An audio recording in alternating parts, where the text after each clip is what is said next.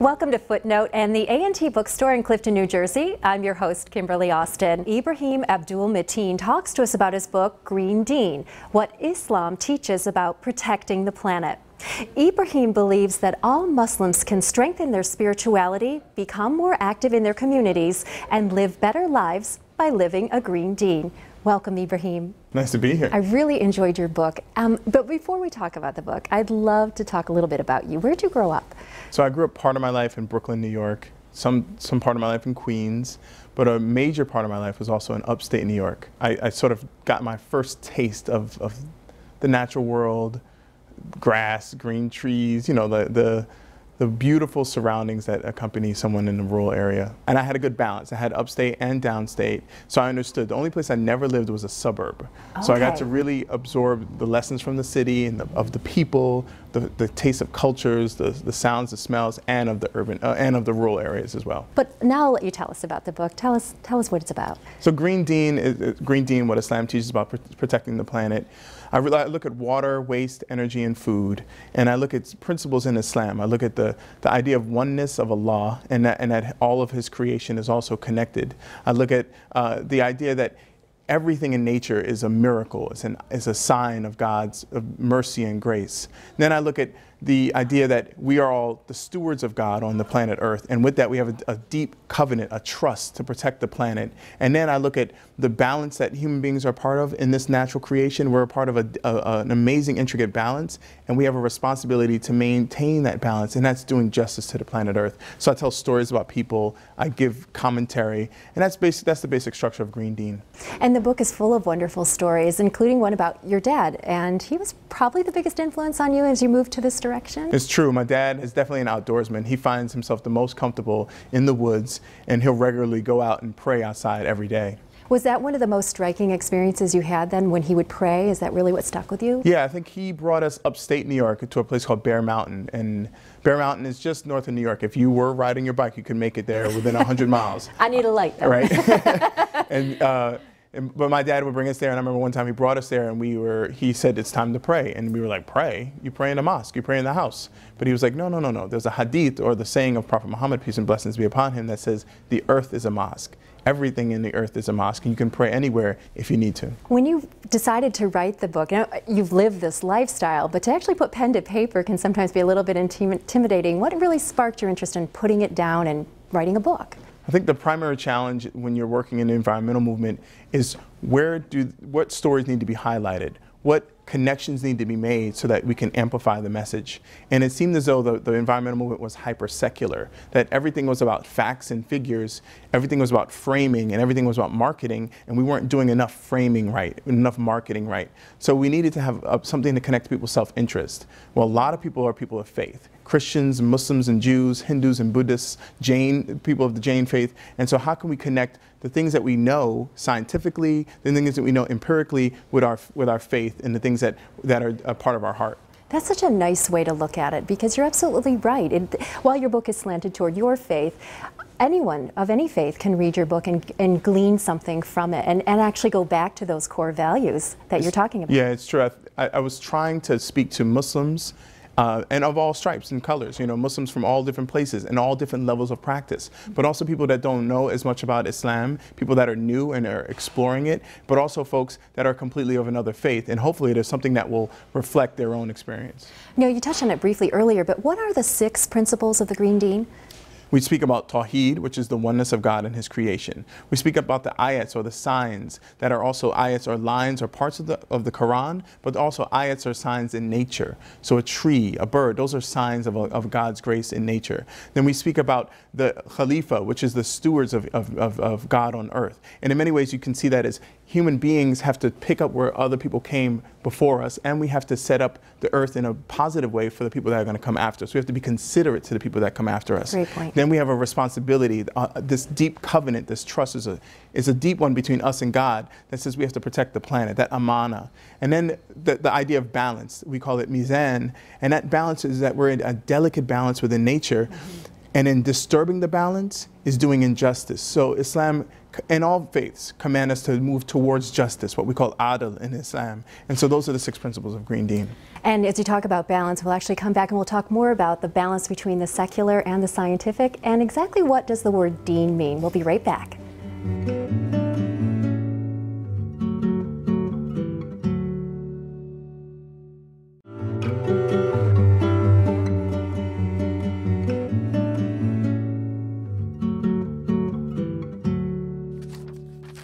Welcome back. We're continuing our chat with Ibrahim Abdul-Matin talking about his book, Green Deen What Islam Teaches About Protecting the Planet.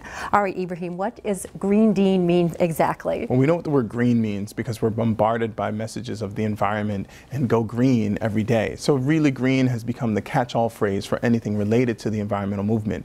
And if you think back, it used to be pollution that we talked about when we talked about being, or um, acid rain and all these right. things. And it, so it's evolved over time. So now we talk about the green movement, and that encompasses all of that.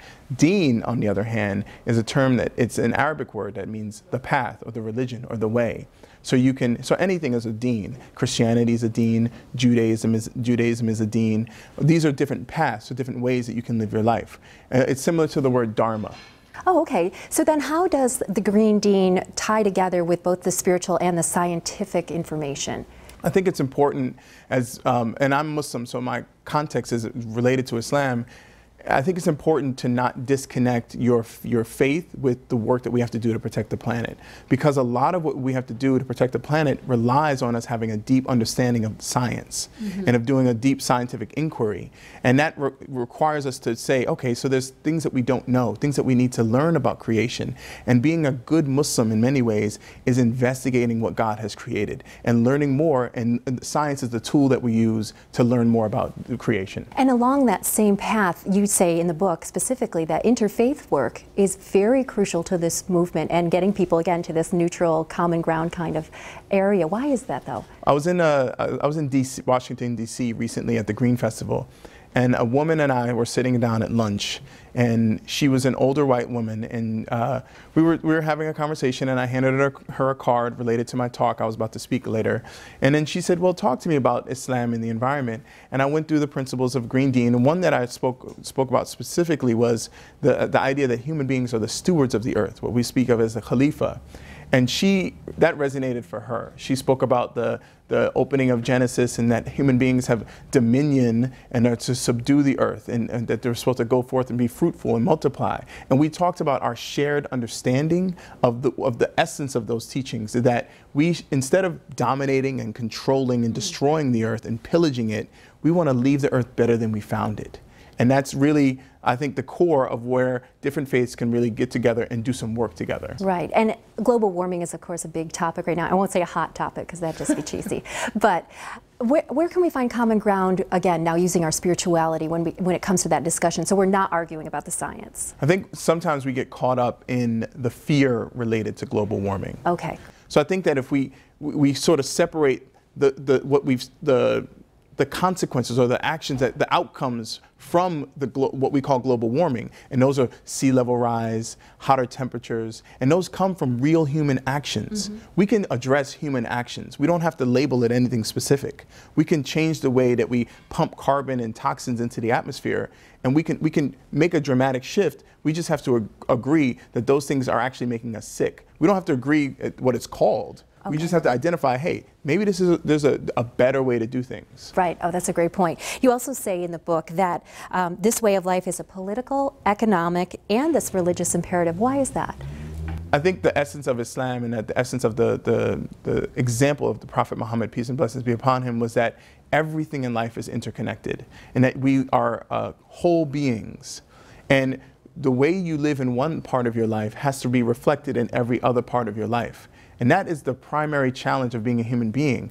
Do you practice what you preach? So if you if you think that it's important to leave the planet better than you found it, if you think that it that the way we treat the planet is a reflection of the way we treat ourselves, then you would operate from that center, from that core in every part of your life, in every aspect of your being. Right. You're not. You can't pick and choose when you want to act out from your faith. For sure. Exactly. so you have this wonderful way of describing different energy sources in the book that I thought was very clever because not only is it effective in teaching us, but for using it to teach children or the older generation that might be a little more set in their ways at this point. Heaven and hell energy sources. What are they?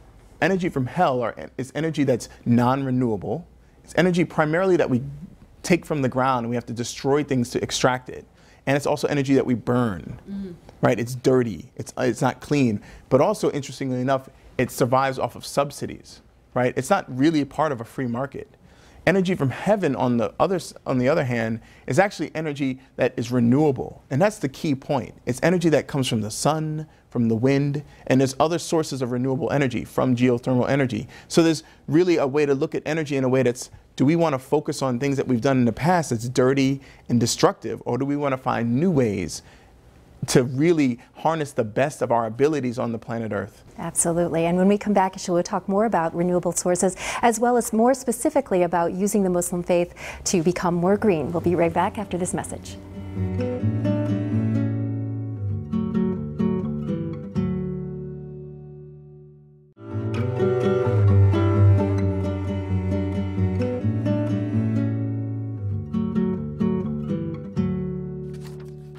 Welcome back. We're continuing to talk with author Ibrahim Abdul-Matin about his book, Green Deen, What Islam Teaches About Protecting the Planet. And let's get a little more specific, use, uh, talking about your faith. And I really enjoyed what you talked about in the book with greening of mosques. Tell us more about that.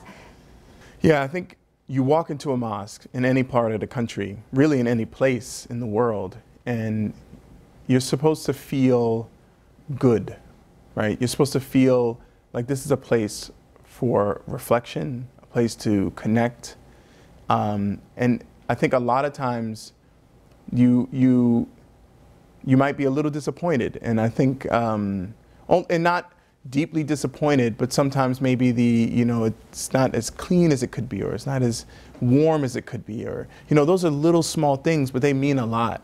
And I think what I, what I mean really by the greening of mosques is let's make mosques better, right? We don't have to just have a square space or like, you know, just a general building. We actually can be, can lead uh, when it comes to creating a real vibrant, thriving, healthy building and a healthy place for, for, for prostration. Which means that when you go into an urban mosque, it's not about asking, you know, for money for electricity, right? It's asking for money to install a new solar panel system. It's asking for money when you're, it's not about asking, you know, for money to build a new mosque. Yeah, maybe it's that, but it's also asking for money to do a geothermal energy study before you build the mosque to see if this is the right place to build the mosque.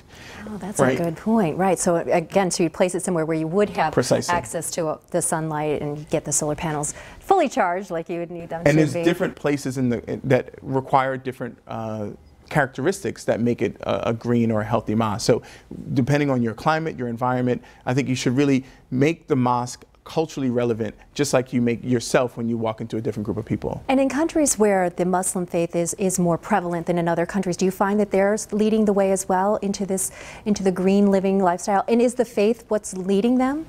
Um, I don't, you know, I'll be frank, I don't know if any time in any place is that, that the faith is actually guiding any group of people. I think it's actually the, the recognition that we are in a dire situation mm. ecologically.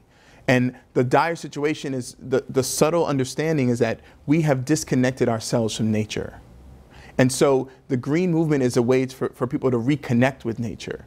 Um, Sayyid Hossein Nasr, who's the great writer who wrote Man, Man in Nature, he's one of the great writers of Islam and the environment. He points this out very, very poignantly. And just this relationship that human beings have to the natural world needs to be repaired. And I don't know if that's in, in Muslim, Muslim dominant countries, the primary reason why they might be going in certain green directions is mainly because of the economics of it. It makes sense, but that's good. That's a first step. But one of the groups you've actually been involved with is, is the IMAN Group. Correct. Tell us about that. They're the Inner City Muslim Action Network. They start out, there's a, they're a grassroots organization in, in Chicago, the south side of Chicago.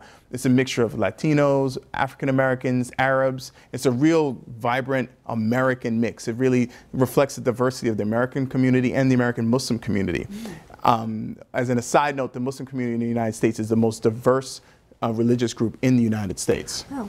Uh, IMAN, one of the projects that I really love about IMAN is that they do a reentry program. So men that are coming out of prison that want to do right by themselves, that have become Muslim in prison, have a safe space to continue to practice their religion and their faith with fellowship right? And then they're able to go out and do green re- so green retrofitting of homes that have been abandoned. So foreclosed homes that have been abandoned, they're retrofitting those homes and then they eventually live in those homes. That's fantastic. And along those lines, we'll come back and we'll talk more about not only what IMAN's working on, but what can we all do to further ourselves and to make the planet a better place than we found it. We'll be right back.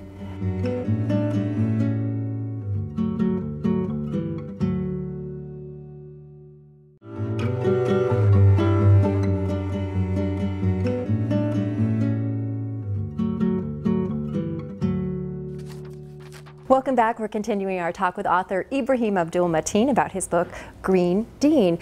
Ibrahim, what is greenwashing? I noticed that in the book. Greenwashing is when people use the, the framework of being green or being more environmentally friendly just to pull a profit. Okay. So it becomes a marketing ploy instead of a real strategy to protect the planet. And it actually respond, it, res, re, it speaks to the way that we see things, right? You think mm -hmm. that you can just buy things and go green. The, the real question is consumption overall and how do we, what do we choose to use and why, why do we do, is it need versus want? And that's really the challenge. And is that really the basic definition of overconsumption or is, it, is there more to it? The way that I speak, speak about overconsumption in the book is re relates to our it relates to the environmental movement. So you wouldn't have an environmental movement if you didn't have overconsumption. So now every single person, every single day has to consume eh, resources just to live, just to survive. But you don't have to overconsume. And there's a, there's a, there's a break that happens when you start to overconsume and you do things based on material need and greed, right? So corporations start to do things because they feel like they have to get ahead. Then they start to create waste and toxicity. They dump that into the air and the land and in the sea. And then what you see right now is a response to that, right? A response to overconsumption. And every single person on the planet can do something about that. So as a person, where, where's the best place to start to try, try to decrease your consumption? Uh, you mentioned in the book home might be the best place to start? Home is definitely the best place to start. When I, I like to tell folks whenever, whenever I'm out speaking is that figure out specifically how much waste do you create in your own family? How much trash do you, do you, do you create? Figure that out throughout the course of a week. How many garbage bags do you put out? And then the next week, put out a little bit less. So take real incremental, slow steps and start from scratch, really. It's really starting from scratch and that mindfulness of knowing. There's a hadith in, in the, um, of the a saying of the Prophet, peace and blessings be upon him, where he said, when you make wudu, and I'll talk about water, but when you make wudu, which is the, the ritual ablution before you pray, even if you're by a river, then you should not waste the water. It's not, though, it's not that you would waste water, you're by a river. It's that you're supposed to get into a habit of not wasting. Now, also in the book, though, you talk about some green Muslims that are, um, are very important and um, have great stories to tell. Would you share one with us? There was a, a gentleman named Yasser Saeed who's in the DC area, who has a company called Green Zabiha, and you can go to greenzabiha.com. And, and I tell the story in the book of when I first went out with him to get, um, the first time I went out with him to get a, a Thanksgiving turkey, and we uh, slaughtered 60 turkeys in the very traditional Islamic way, uh, which is a very somber, um, deep practice where you are mindful of the, your role as the steward. You're mindful of that you have this covenant with God. You're mindful of the delicate balance. You're mindful that you that these are signs in, in nature, right? You're mindful that you're a part of everything that's in nature in this process. So naturally, you, you don't want to waste this opportunity. So the slaughtering of the animals was, a, was an act of worship. But I really think that's the direction we need to be going in. Grass-fed, hormone-free, organic, um, you know, and, and, and the beauty of the Islamic tradition is that we already have a template for this to happen. The halal zabiha template is already ready made for a green world. Just like you'd mentioned before, the covenants really are already there. We just kind of need to reconnect to them. I think you're right. And I think that a lot of us, you know, we think of this in the environmental movement, it's really what our parents used to call home economics. Right. Right? Yeah. It's really what they used to call agricultural science. It's just being mindful of what's in your environment. It's just understanding the science of everything in your environment so you can use it to the best of your ability to protect the planet. And knowing too that this isn't hard to do. Yes, that is a challenge. Um, what do you hope people take away from the book? The most important thing that I think that people should take away from Green Deen is that the way we treat the planet is a reflection of the way we treat ourselves. Um, Yasser Saeed, who I just mentioned earlier, who has greenzabiha.com, he said this in a talk. He said, What do you feed cat food to? A cat. What do you feed dog food to? A dog. And the question is, what do you feed junk food to? Ah. Human beings. So we don't see ourselves as sacred. We don't see ourselves as part of God's creation. And, that, and, we, and as, because of that, we see it a, a completely separate, so we can do whatever we want to it. We can destroy it. We can dump toxins into it. We need to recognize that we are actually part of that that the way we treat the planet is a reflection of the way we treat ourselves. I'm so glad you wrote the book. Thank you so much for being here, Ibrahim. It's been a pleasure. Thank you. Thanks for having me. Thank you, Ibrahim. So, how green is your deen? Well, no matter what your faith is, as Ibrahim says in the book, we all live and work here together, and we have a collective responsibility to keep the earth clean and safe for everyone. In fact, the best idea is to leave it better than we found it. Thank you for being with us today. I hope you'll join us again next time on Footnote.